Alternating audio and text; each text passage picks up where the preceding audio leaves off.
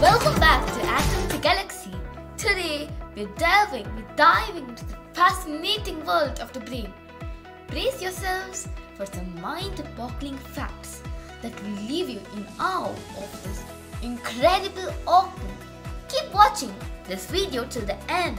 We have something awaiting for you. Well guys, we already know that the, brain is the control center of the body and it in fact controls the entire body. It's like the major functions. Well, the brain has three major parts. Yeah, the first one is our cerebrum. It is the largest part of the brain. It has many folds, creases, grooves on its surface. And it is responsible for your intelligence, thinking, reasoning, and consciousness. If you are able to do a math sum or do some art, it is all because of your cerebrum.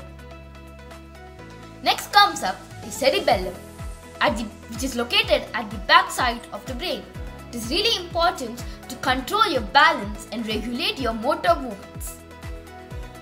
Have you ever wondered why a drunk person, that is a person who drinks alcohol, cannot walk properly?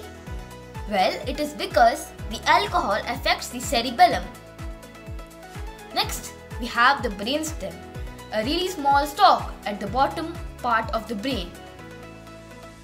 It controls some of the major body functions like breathing, digestion and heart rate.